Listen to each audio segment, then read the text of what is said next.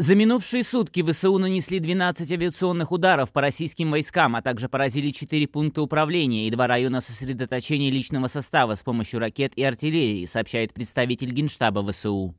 Украинская авиация Украинская авиация продолжает уничтожать захватчиков. За прошедшие сутки нанесено 12 ударов по районам сосредоточения личного состава, вооружения и военной техники противника и два по зенитным ракетным комплексам. За аналогичный период времени россияне нанесли 6 ракетных, 14 авиационных и 59 ударов из ракетных систем залпового огня. В частности, прошлой ночью атакам подвергся Очаков. Ночью 25 ноября враг наносил удары из РЗСО по портовой акватории и населенному пункту Очаковской общины. В результате один человек получил контузию. Повреждены жилые дома, среди них один многоэтажный. Российские войска в очередной раз обстреляли из градов и тяжелой артиллерии Никополь. Россияне продолжают бить по Никопольщине. Этой ночью обстреляли из града и тяжелой артиллерии Марганецкую и Никопольскую общины. В города и села прилетели более 70 российских снарядов. Люди целы. Детали обстрелов уточняются. Ночью снова был обстрелян пригород Запорожья. Пригород Запорожья. На этот раз ракеты попали рядом с больницей. К счастью, люди не пострадали. Чего не скажешь о здании. Десятки разрушенных окон.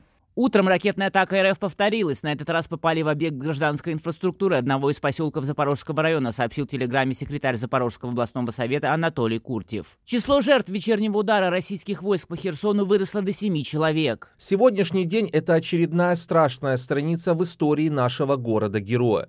Только за вечер 21 раненый и 7 погибших. Вечная память погибшим от рук российских захватчиков. Всего в результате обстрелов в Херсонской области погибли 10 человек, 54 были ранены. Тем временем власти Украины заявили, что ВСУ ликвидировали находившихся на аннексированных Россией территориях инструкторов из Ирана. Об этом заявил секретарь Совета национальной безопасности и обороны Украины Алексей Данилов в интервью британской газете The Guardian. Ранее в Киеве утверждали, что в аннексированном Крыму находится небольшая группа иранских специалистов, обучающих российских военных обращаться с дронами иранского производства «Шахид-136» которые Россия использует для ударов по объектам в Украине.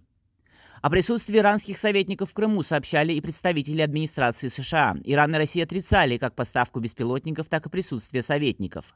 Когда и при каких обстоятельствах были ликвидированы иранские инструкторы и сколько их было, Данилов не уточнил. Владимир Зеленский призвал не тратить время на рассмотрение вариантов завершения войны, которые не предусматривают деоккупации Крыма. Я понимаю, что все озадачены ситуацией и тем, что будет с Крымом. Если кто-то готов предложить нам путь к деоккупации Крыма не военным путем, я буду только за. Если решение не предусматривает деоккупацию и Крым является частью Российской Федерации, никто не должен тратить на это свое время. Это пустая трата времени.